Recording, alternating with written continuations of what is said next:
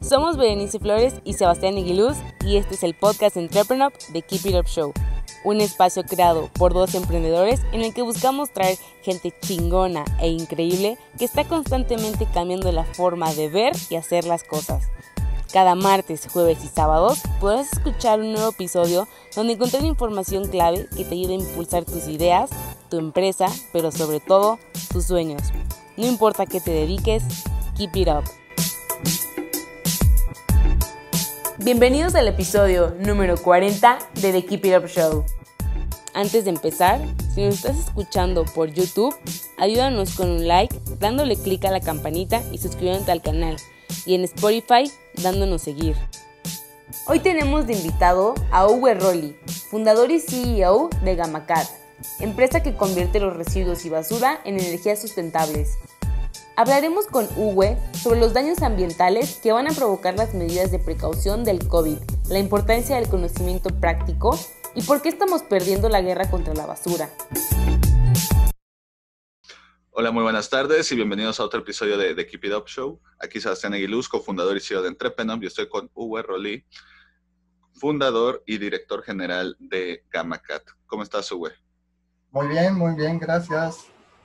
Qué bueno, qué bueno. Aquí listo para la entrevista. Nosotros encantados de tenerte aquí. Oye, Uwe, la primera y más importante es por qué un alemán habla tan bien español. Bueno, yo digo, todos los idiomas del mundo se pueden aprender más fácil cuando vives en el país donde se habla. Y yo tengo casi, bueno, voy por cerca de 30 años viviendo en México y hablamos español todo el día, eh, tanto en la casa, las reuniones. He hecho muchas conferencias en universidades. Este, aprendí muy rápido por, bueno, trata de evitar hablar mi idioma natal como alemán o tratar de evitar hablar en inglés, aún sabiendo que sí voy a hacer muchos errores, pero ahí se aprende, a través del error se aprende. Exacto. Und meine Deutsch ist ein bisschen schlecht, aber ich vergesse. pero bueno. No importa, si practicas lo vas a aprender también. Exacto. Súper bien oye, Uwe, y por ejemplo, llevas 28 años en México. antes de eso, estuviste mucho tiempo en, Alemania, te viniste joven. Bueno, eh, yo eh, nací en Alemania, entonces tengo ahora 58 años. Entonces, con, los 30 años de edad, llegué a México. Y ya, aquí me quedé.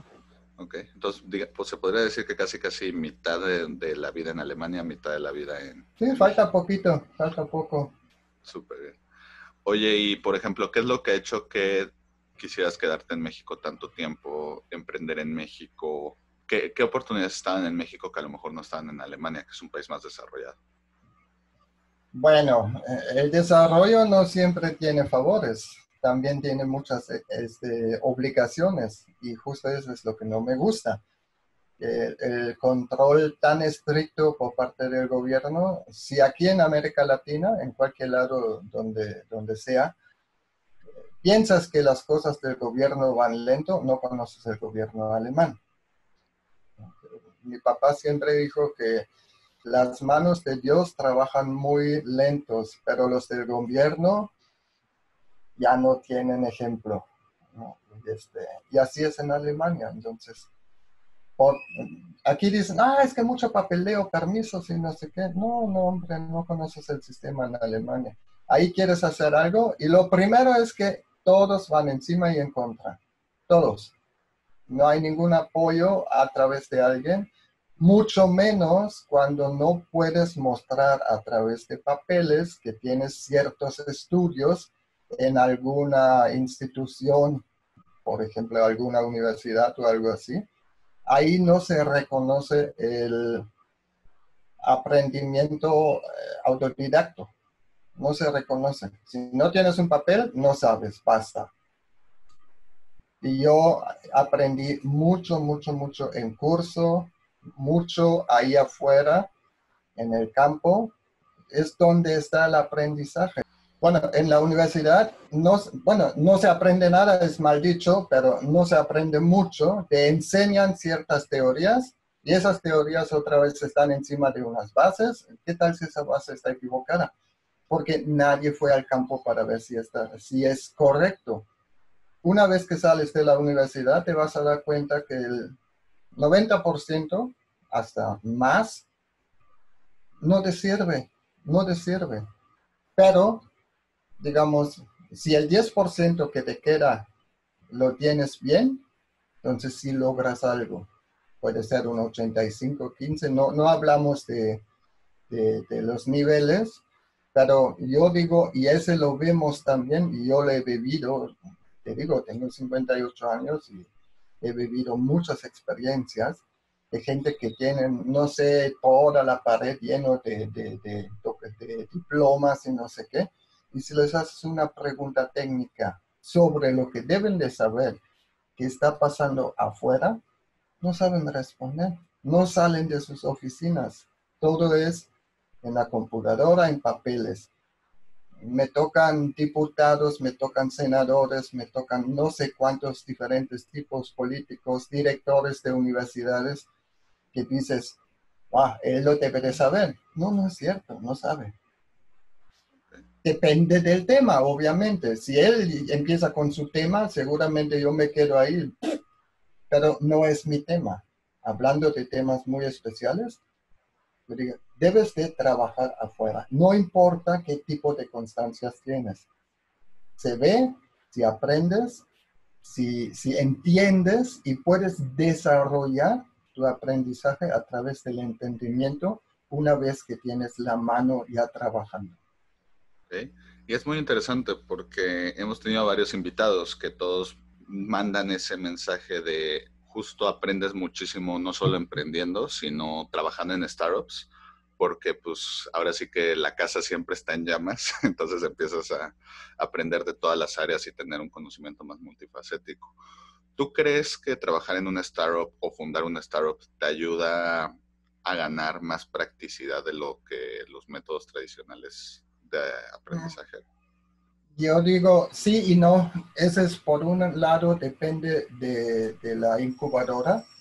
Hay incubadoras muy buenas y hay incubadoras que dicen lo hacen solo para ganar dinero. Eh, no, no saben incubar o educar a la gente. Pero en la incubadora es lo mismo. Ellos van a lo general, tienen su tipo de enseñanza, tienen su tipo de de prácticas, de técnicas. Por ejemplo, a mí me dicen, tienes que aprender Canvas. Digo, no, no tengo que aprender el Canvas por lo que yo hago. El Canvas está hecho para alguien que vende artículos pequeños que cuestan unos pesitos, que, tiene, que necesita muchos clientes, que necesita, este, bueno, muchos distribuidores o muchos clientes. Yo con un cliente al año estoy muy feliz no necesito más. Bueno, sí, si hay dos está bien, pero como en muchos, ¿cuántos clientes tenías ese año? Pues yo pongo uno, bueno, ¿de qué? Ah, pero vamos a hablar de las ventas. Tú con tus 10 o 15 o 20 mil o 50 mil clientes o ventas, yo te supero no sé cuántas veces, porque estamos hablando de varios millones de dólares de inversión a lo que yo hago al contrario de unos pesitos para unos zapatos o unos pantalones o, algún té o café. Perfecto.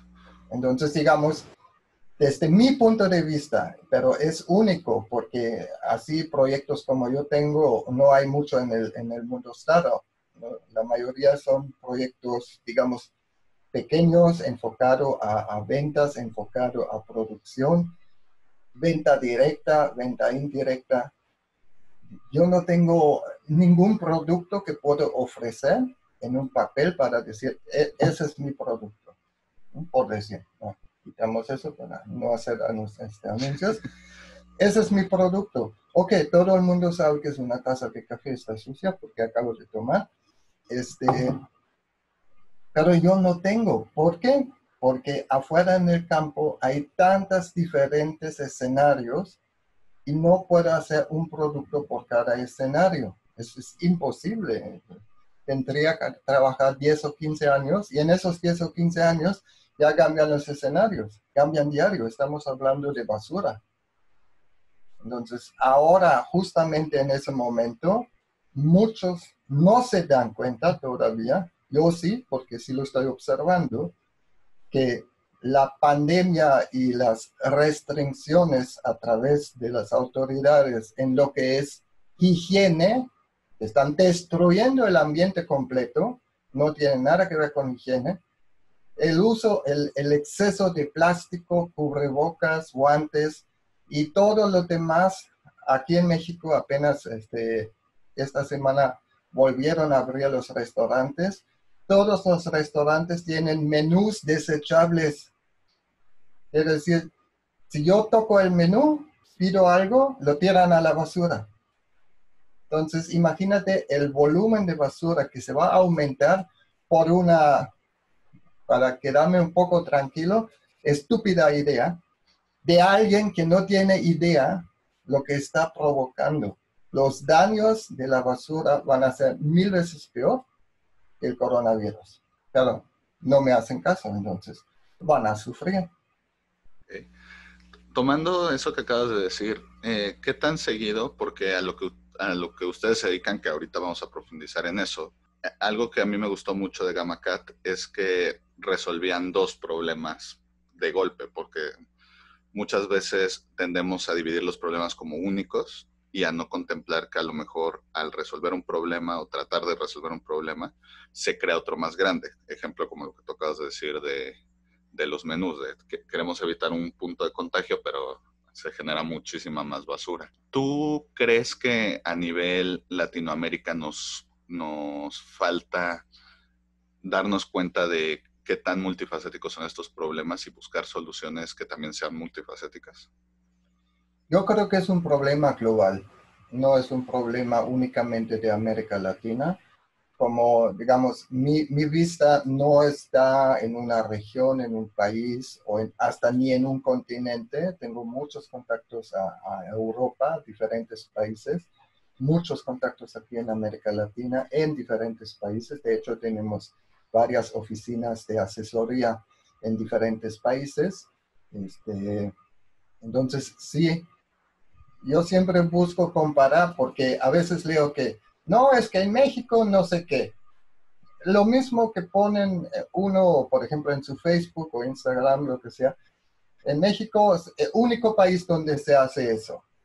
Entonces yo te, te falta visión, hombre, no conoces nada más que México. El mismo lo ponen en Chile, en Argentina, en Uruguay, en, en, en, Paraguay, en Ecuador. Lo mismo, lo mismo. El único país que hace eso, el único país que hace eso. No es cierto, la gente no tiene visión solo están así y como el caballo, ¿no? Eh, no ves a la derecha ni a la izquierda, ves lo que tienes adelante en tu, en tu mesa. No es así. Esos tipos de problemas, contaminación, basura, no sé qué, no tienen frontera. A ningún país está, bueno, Trump que quiso hacer su muro, pero el, muro no sirve para detener la contaminación. Bueno, lo que yo digo, la, la gente no tiene mucha visión fuera de su, de su región, de, su, de su mente, lo que ven y no sé qué. Y muchos solo repiten, no tienen conocimiento básico, solo repiten, repiten, repiten. Y obviamente hoy en día vienen los bots que también sirven para reforzar un problema que ni siquiera existe. ¿En qué sentido? Bueno, se puede decir en, primero al sentido político, ¿no? Los bots ya sabes que un partido tiene postings, eh, contrata agencias, te puedo mandar un bonito video cómo funciona eso, este, aquí en México. Agencias que ganan millones, millones cada año para sembrar mentiras en las redes sociales más en el sentido político, porque es donde más dinero se mueve, pero lo mismo puedes hacer como ahora. Digamos, mucha gente tal vez cree que tenemos una pandemia, que tenemos un virus muy peligroso y no sé qué. Gracias a los bots, este virus no es nada peligroso y no justifica ninguna pandemia. Pero como no están empujando la gente que sí tienen el conocimiento necesario para confirmar eso. ¿Por qué? A estas agencias que tienen que hacer los bots les paga para promover el miedo a la gente. Y si el miedo, el político necesita un pueblo con miedo, porque un, un pueblo con miedo es muy fácil de manejar. Para eso sirven esas cosas pero nadie, busca los problemas reales. Ya hoy en día no tienes que buscar problemas, te lo sirven en la radio, en la tele, en, las redes sociales. Ahí están tus problemas, que ni siquiera son problemas, son problemas artificiales. Ese es mi punto de vista. Y no, lo bueno es que en ese caso no, soy, no estoy solo, tengo mucho, mucha gente atrás o adelante que, que saben mucho más que yo en ese tema, pero yo por lo menos me informo. Y luego dicen, ay, tú con tu información que sacas del Internet. a ver, ¿y dónde sacaste tú tu información? También del Internet, para eso existe el Internet, para sacar información. Obviamente, puedes decir lo que buscas, vas a encontrar. Y lo que yo busco es contacto ahora más porque yo me siento afectado, eh, siento afectado mi alrededor por una farsa de una pandemia. Entonces yo busco gente que sí tienen la educación, que sí tienen la expertise como, digamos, una reputación al nivel global de decir que el coronavirus no existe. Lo mismo hago yo cuando vienen los emprendedores después de una conferencia este, vienen, oye, V, este, eh, quiero hacer un emprendimiento en, ambiental. A ver qué quieres hacer. Este reciclaje. No. no. Búscate un trabajo, por favor. Deja el tema de reciclaje. No, no vas a lograr nada. ¿Qué, cuál, ¿Qué es que quieres hacer en el reciclaje? ¿Recolectar PET? ¿Recolectar plástico? ¿Recolectar vidrio? Bueno, vidrio casi no tiene valor. ¿Metales? No, hombre, ya tendrías que haber nacido hace 30, 40 años para hacer eso. Hace 30, 40 años. Hoy en día ya no hay mercado para eso. Si no tienes una mega idea que todavía no existe y lo tienes bien desarrollado, no te metes en el reciclaje. No es negocio. Es una mafia, como muchos otros negocios también. Ok. Oye, güey, regresando un poquito a Gamacat, eh, ¿nos puedes contar cómo nace esta idea? Cómo, ¿Qué fue lo que te llamó justamente la problemática? Y para los que no estén tan familiarizados, eh, ¿a qué se dedica la empresa? Bueno, obviamente, digamos, yo nací con ese sello ambiental, no sé por qué, pero desde yo puedo recordar de niño, siempre he tenido una pasión hacia la basura no sé de dónde nació, alguna reencarnación de basurero, de, penador o lo que sea. Esa pasión le he dejado un poquito durante unos años. Ya sabes, ¿no? Cuando empiezan las discotecas y chamacas y no sé qué, y fiestas, ya empiezas a, a cambiar un poquito, pero luego ya agarré la vuelta y regresé más fuerte todavía este, buscando soluciones ambientales. Entonces hay muchas, muchas, muchas circunstancias este, que uno dio a la otra, a la otra, a la otra. Realmente puedo decir, siempre estuve buscando soluciones ambientales, pero no como reciclaje, no, porque, ¿qué quiere decir reciclaje? Reciclar, regresa al ciclo. Pero regresa al ciclo otra vez va a ser basura. Eh, regresa al ciclo, otra vez va a ser basura. Llega el día que ya no se puede reciclar. Entonces, con el reciclaje no estamos ganando nada, estamos ganando tiempo, pero no solución. Porque llega el momento, si, enfocamos solamente a plástico, el plástico es un polímero que tiene eh, ciertas componentes químicos esos componentes químicos en el proceso de reciclaje ya llega el momento que ya no te sirven esos componentes y van a ser basura más concentrada todavía. Estamos ganando tiempo, pero no es una solución. Es en el tema reciclaje. Cuando entendí eso, Yo dije, no, reciclaje no es nada. Y luego ya hicimos estudios propios, no bajando del internet lo que hacen universidades, sino estudios con las propias manos. ¿Cuánta basura se puede reciclar? ¿Qué crees tú? Un porcentaje.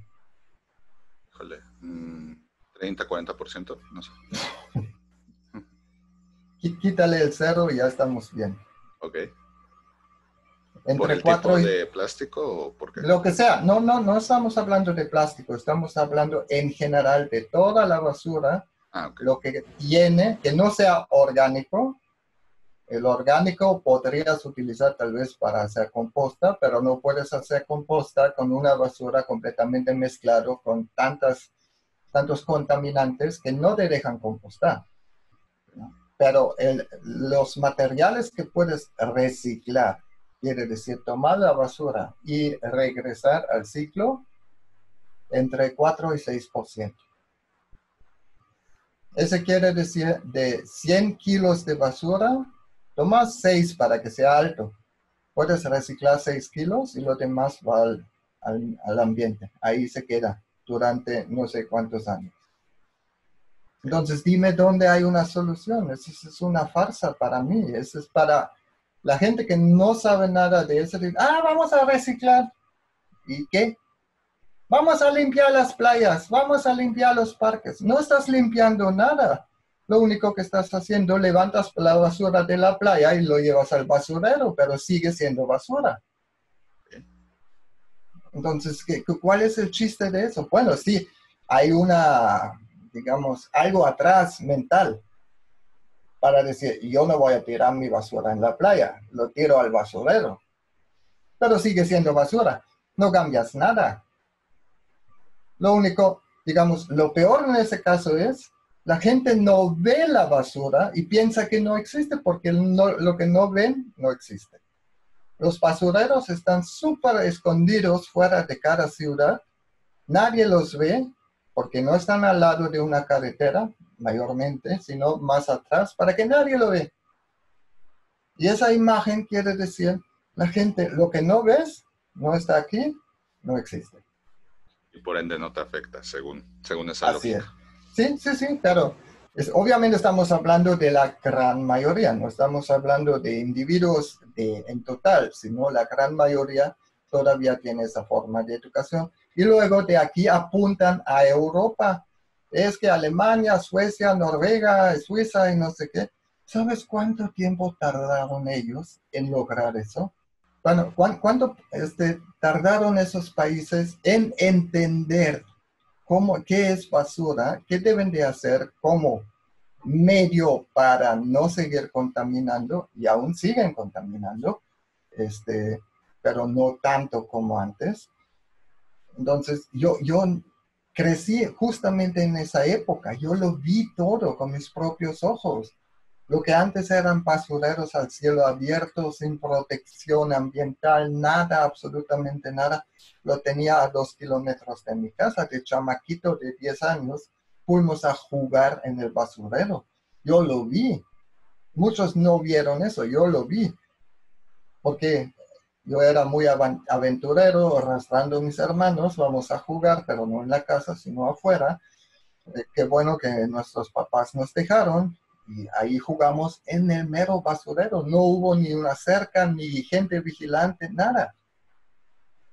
Yo sé todavía dónde está el basurero. Luego lo taparon, porque también tapado ya nadie se da cuenta. Ni siquiera lo limpiaron, lo taparon. Entonces, problemas antiguos también puedes tapar, lo que hacen en muchos países. Pero crear una montaña de basura sin enfocarse qué pasa en 30, 40 años, ahí va a estar la basura. No es una montaña.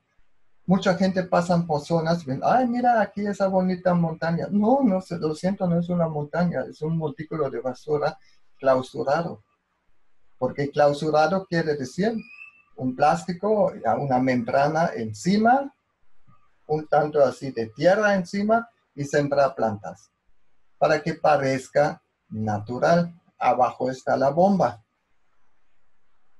Y que ahora ya tuvimos la semana pasada muchísima lluvia, lluvias torrenciales, y el ex basurero, cada vez que pasa eso, todo el agua que se queda acumulado ahí abajo durante los últimos 50 años sale a la superficie. Y justo alrededor hay infinidad de este fraccionamiento. La gente vomitando en la casa por el olor. Y eso va a pasar en muchos lados. Entonces yo dije, ¿qué se puede hacer para reducir lo más, obviamente en casa, digamos, la solución más perfecta de basura es no crearla. Lo que no, lo que no creas que no necesita, eh, eh, no necesita ninguna mano. Si no, yo no hago basura, no necesito basurero. Pero lamentablemente ese es el camino más corto, eh, este más largo. Entonces ahora existe el problema de la basura y hay que buscar, ya no hay que buscar porque las soluciones ya existen y son soluciones, no son alternativas. Reciclaje es una alternativa. Estamos hablando ahora de soluciones. Soluciones, tecnologías que te permiten utilizar hasta el 85% de todo tipo de basura, todo tipo, no vamos a empezar a clasificar porque no es que orgánico, si yo digo todo, es todo, excepto minerales y metales. Minerales en ese caso obviamente es lo que son porcelana, tazas, escombros, vidrio. No tiene valor calorífico, necesitamos producir calor, pero minerales no se queman. Entonces, y metal, metal tiene un supermercado en el reciclaje adiós, a vender. Y ese 15%, digamos, es una basura 100% inerte, ya no contamina, no puede contaminar, un mineral no puede contaminar. O donde quieras que lo tiras, no puede contaminar. Pero el 85% se transforma en energía eléctrica. Justamente ahora en la pandemia, digamos, yo puedo ofrecer, si hablan de negocios seguros que aguantan cualquier pandemia, yo te puedo decir, el negocio más seguro es la basura. Y el producto que produces es producto número uno al nivel global. Nadie puede vivir sin energía eléctrica. Si quieres que el sistema como lo tenemos se mantiene, la base para todo olvídate de, todas tus aplicaciones y, todos los inventos digitales y no sé qué. si no hay energía eléctrica, es completamente obsoleto. Entonces, la base para sostener todo eso es la energía eléctrica. Ahora la pregunta es, ¿con qué voy a producir energía eléctrica? Hidrocarburos, viento, sol, ya están haciendo muchas cosas y no alcanza hay, hay un falta de, hay, hay mucha demanda de, de, energía eléctrica y en todos los países existen fallas. Las fallas existen porque la gente consume de más que se produce. El sistema no aguanta esa forma de consumo. Se necesita más energía eléctrica.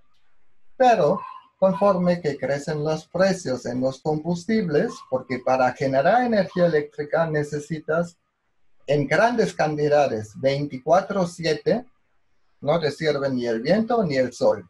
Estamos hablando de una producción constante durante 24 horas al día con un una cierta potencia. Necesitas crear vapor. Porque el vapor es la potencia que mueve la turbina y esa turbina genera energía eléctrica. Ahora, ¿cómo caliento el agua? Para se convierte en vapor. Y estamos hablando de vapor de 450 grados con una muy alta presión, no como en una olla express. Ahí ya vamos mucho más allá. Entonces, para generar energía eléctrica constante en grandes volúmenes necesito calor, pero calor muy alto. Entonces, existe, lo peor de todo es este, eh, nuclear.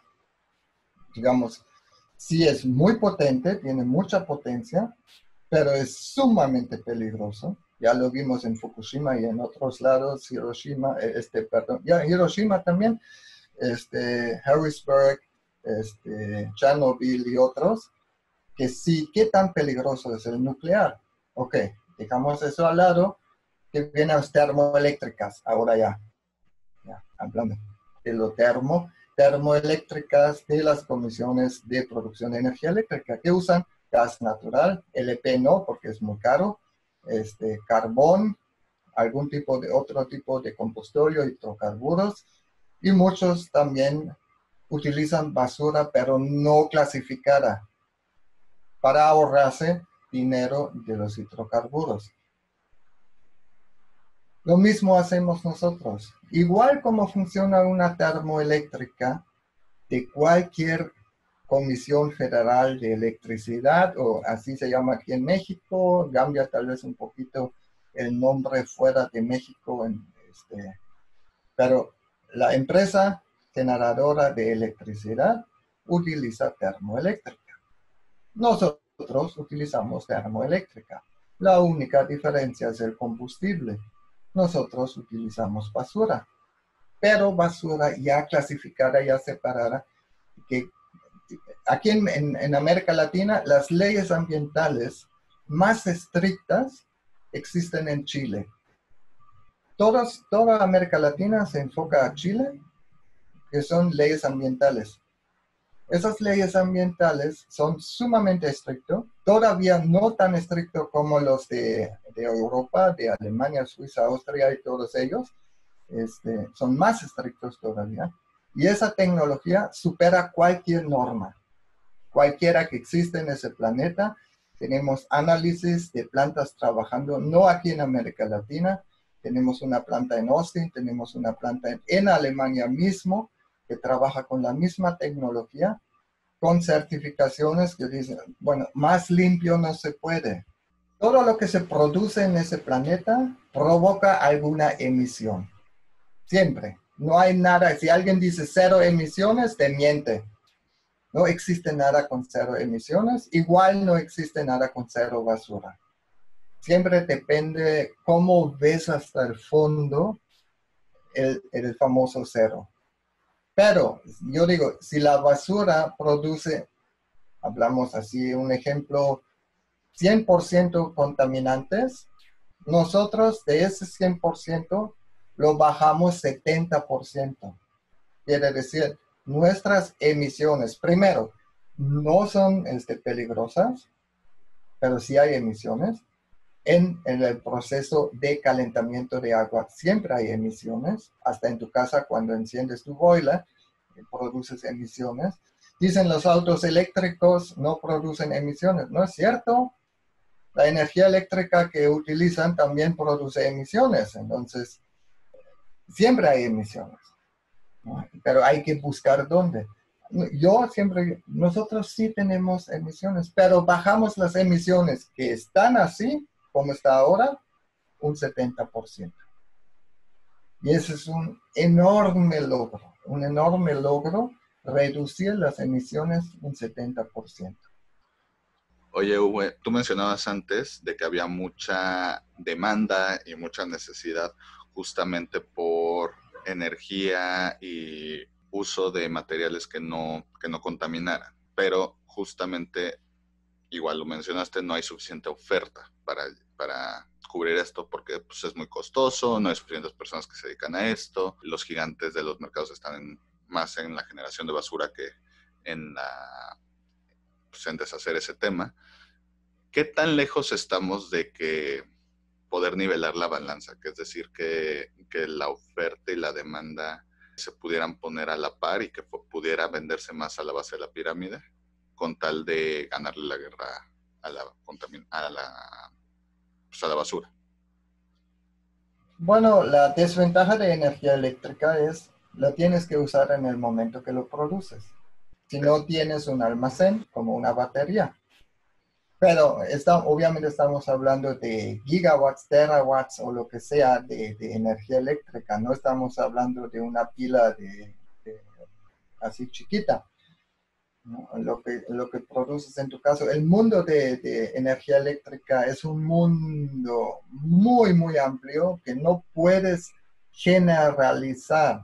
Si yo ahora prendo el ventilador, la termoeléctrica tiene que tener la capacidad para que yo pueda prender. Y si lo apago, tienen que reducir. Entonces, subir, reducir. Hay puffers que ya están diseñados para soportar esas diferencias. Imagínate si a las 5 de la tarde, 6 de la tarde, todo el mundo regresa a la casa y empieza a arrancar su aire acondicionado. Ups, hay una, una necesidad tremenda. La termoeléctrica tiene que tener la tecnología para soportar eso en un instante. No puedes decir, espérame, ahorita voy a calentar agua y generar. No. Entonces, sí, ese es un tema muy, muy amplio y para alguien que no se ha metido en eso muy profundo, muy difícil de entender. Pero no puedes, se puede balancear, pero no puedes producir más energía que necesitas.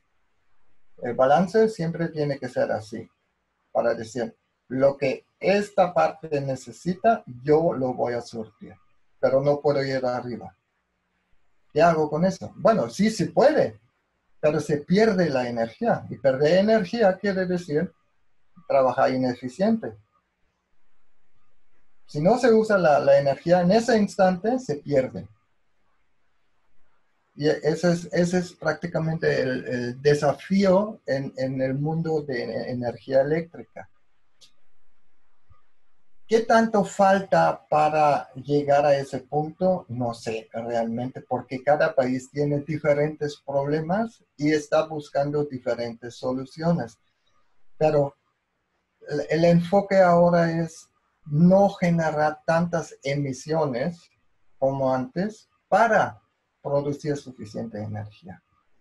Perfecto. Y igual, digamos, el, mundo electrónico de producción de aparatos electrónicos ya también trabaja mano a mano con el consumente, que dice, antes no importaba si un foco utilizaba 200 watts, ahora todo el mundo busca focos de ahorro de energía, ya para no gastar tanto porque el mundo electrónico cada vez es más y más y más y más, todo es electrónico, electrónico, electrónico, pero de bajo consumo, entonces también depende del consumente. Y otra cosa, eso es lo más importante. Lo primero que escuchas son las quejas del consumidor cuando sube el precio. Ah, subió el precio. Ah, bueno, si sube el precio y no lo puedes pagar, quita tu tele, quita tu aire acondicionado, quita lo que no necesitas, si no lo puedes pagar, déjate quejarte. Ese es mi punto de vista. Suena muy cruel. Si no lo puedes pagar, no lo usas, basta. Nadie te lo va a regalar. Y si esa compañía tiene que subir el precio, es porque no importa dónde, en qué país, si tiene que subir el precio, es porque están aplicando tecnologías que protejan el medio ambiente para tu favor. Si no estás dispuesto a pagar eso, entonces no usas energía eléctrica. Así muy simple. Es una, diga, para mí la solución más simple, si no lo puedes pagar, no lo usas, basta. Adiós. Perfecto. No, pero todos quieren su aire acondicionado, posiblemente hasta 18 grados, y luego andan con chamaras en su casa porque tienen frío y afuera hay 40 grados y, pero se quejan si no pueden pagar la luz, como dicen. Para dar un poco de contexto a los que nos están escuchando, eh, y Gamacat están en Mérida, Yucatán. Entonces, para de ahí el infernal calor del que él menciona. Bueno, hay, otras zonas en México, Baja California también, que tiene, o el, el, lado de tierra firme, que tienen esos calores también este, casi todo el año y luego ya en el verano en muchas ciudades en el norte ya supero también las 40, 45 grados. Digamos, es casi, casi una necesidad primordial estar en una casa con aire acondicionado por la elevación de temperaturas ¿Qué es causa de la basura?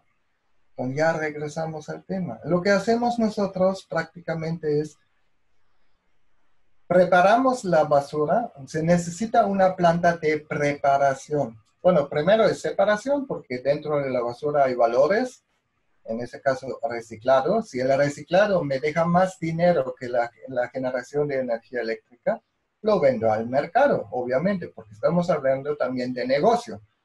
No, no, no es una asociación civil sin lucros, estamos hablando de negocios. Hasta las asociaciones civiles también es un negocio, pero es otro tema.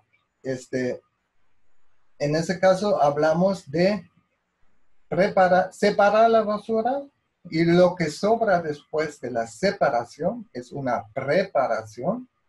Se necesita una planta, el mundo lo dice, una planta de reciclaje Sí, es una planta de reciclaje.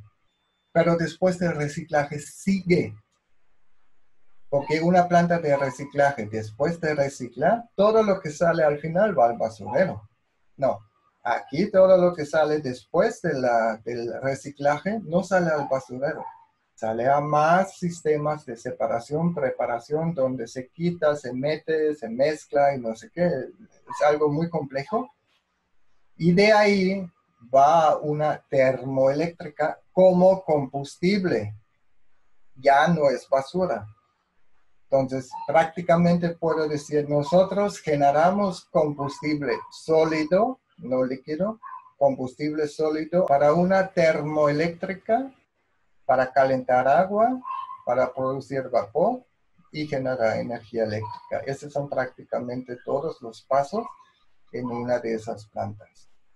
Solo para los que quieren tomarse el lujo de sacar su calculadora, este, por cada 55 toneladas de basura, que es muy poco, desde mi punto de vista es muy poco, 55 toneladas de basura al día, obviamente, yo puedo producir 24 megawatts en un día.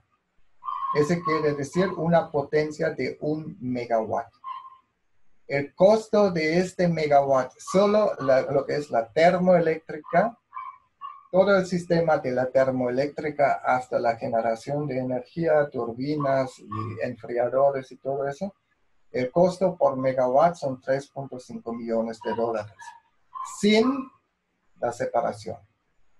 Ese es punto aparte. Perfecto. Oye, Uwe, para ir terminando, a todos los invitados de The Keep It Up Show siempre les pedimos tres sís y tres nos para los emprendedores. Básicamente, tres cosas que les recomiendas que hagas, tres cosas que les recomiendas que eviten, tres mandamientos y tres pecados capitales. ¿Cuáles serían tus tips? Tip número uno es, ¿cuál es tu diferenciador? Si no lo tienes claro, ¿qué es la diferencia de lo que tú haces a otros? Si solo es vender más barato, salte del mercado estás lastimando negocios existentes que hacen lo mismo que tú y tú los destruyes porque lo único que haces es copiar y vender más barato. Ese no es emprendimiento. Ese es tip número uno.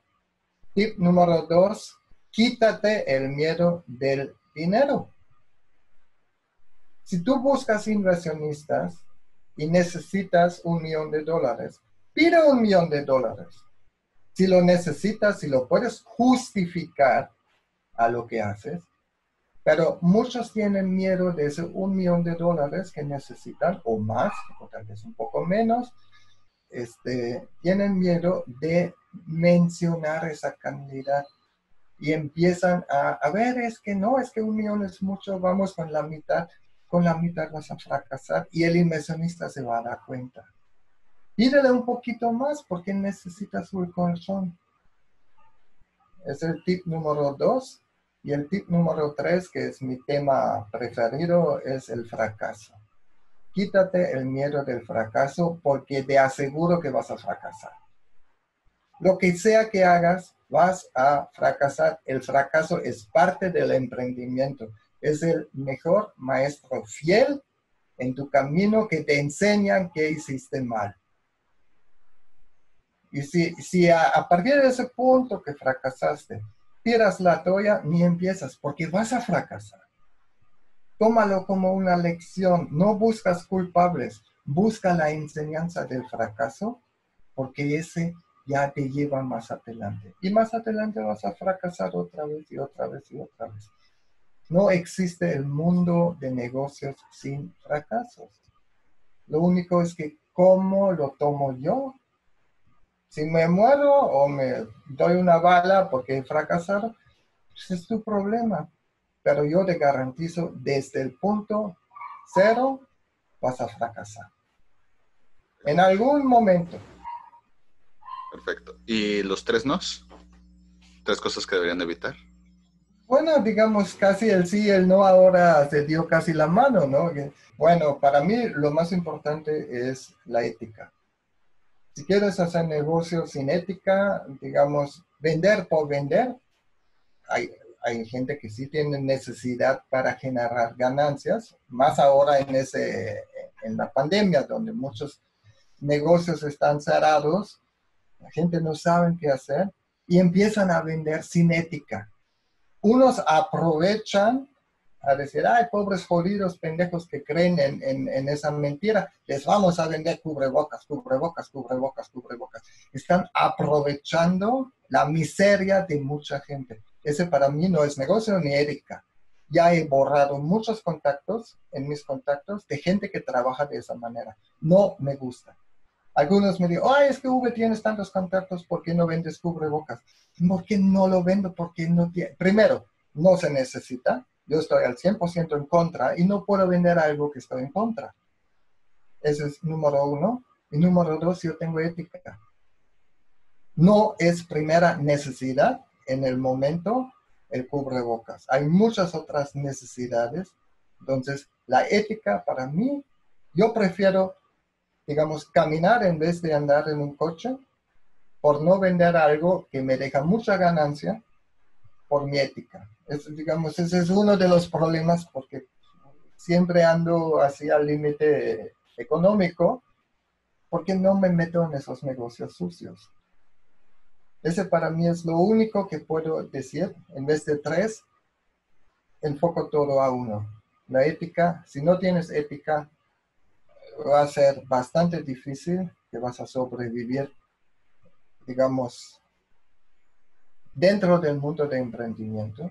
Ya también tú sabes que dentro del mundo de emprendimiento, ¿cuántos han engañado los, los crowdfundings y no sé qué? Y capitalistas, ya sabes que hubo muchos que hicieron su fraude este, buscando dinero voluntario en crowdfunding, juntaron no sé cuántos millones, tomaron el dinero y se fueron. Pero e-, eso estaba planeado. Y esas son gente sin ética. Lamentablemente, todo eso no solo pasa en el mundo de emprendimiento, pero, digamos, esa mala imagen que provocan esos tipos afecta a todos. Entonces, para mí es, si no tienes ética, no tienes nada que ver en el mundo de emprendimiento, y mucho menos en una incubadora. Es lo único que puedo decir. Perfecto. Oye, Uwe, si más gente quisiera enterarse de lo que hacen en Gamacat, eh, a lo mejor adquirir sus servicios, aplicar para una vacante, etcétera, ¿dónde los pueden encontrar? Bueno, vacantes realmente no tenemos y nunca lo vamos a tener porque, digamos, mm, las plantas que estamos construyendo no son prefabricados, se fabrican en el momento, en el sitio entonces, aquí, aquí donde estoy en Mérida, solo tenemos eh, oficina. Y bueno, ahora que ya se puso muy en moda el home office, nosotros llevamos nueve años en home office. ¿Para qué rento una oficina para depositar una, una, computadora? No es necesario. Todo el trabajo atrás de la construcción, en, en nuestro caso, se puede trabajar en casa. No se necesita una oficina. ¿Por qué? nuestros sitios de trabajo es un año allá, medio año allá, dos años allá, varía y no me voy a remolcar cada vez la oficina hacia ese lado. Tengo todo en esta computadora, lo que necesito, obviamente respaldado en nube y en, disco duro, en discos externos, y me lo puedo llevar a cualquier lado. Esa es mi oficina. Entonces, ahí, ahí también puedo decir un tip a los, a los emprendedores. Claro que sí si hiciste tu FODA, todos deben de saber que es un FODA, y se te olvidó la pandemia, ya ahora hiciste un gran aprendizaje. Los que no sabían que es fracaso, ahora ya te lo enseñaron. ¿Qué es fracaso? Olvidar dentro del FODA un problema, una catástrofe natural, como esta pandemia. Ya nadie lo tenía, nadie. Yo tenía en, en mi FODA siempre catástrofes ambientales, naturales, como huracanes, como terremotos y no sé qué, pero no pandemia. Sí, nadie. Nadie lo. Pero no me afecta, a mí me conviene. Digamos, lo que yo hago no es ahora me voy a enfocar a, ese problema.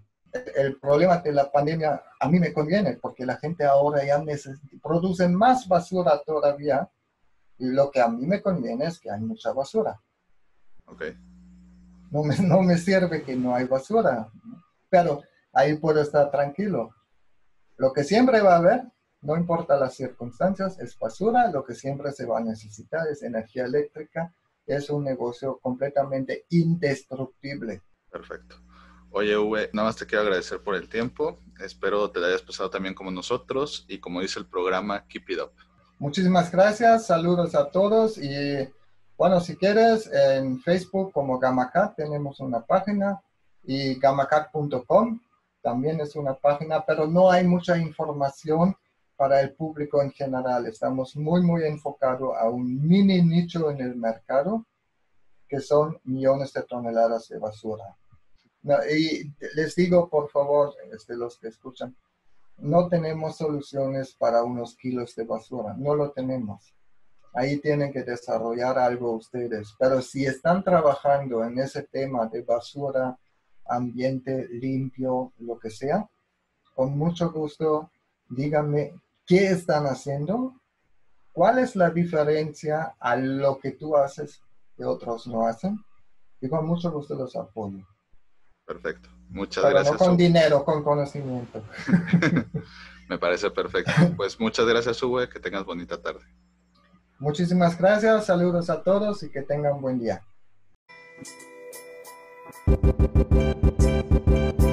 Si te gustó el episodio de hoy, recuerda que puedes escucharnos en Spotify y YouTube y para más herramientas de estos temas, estamos en Instagram y Facebook como arroba entrepreneur. Si quieres seguir a nuestro invitado de hoy, te dejamos en la caja de descripción sus redes sociales y datos de contacto. Gracias por escucharnos y nos vemos en el próximo episodio. Recuerda, keep it up.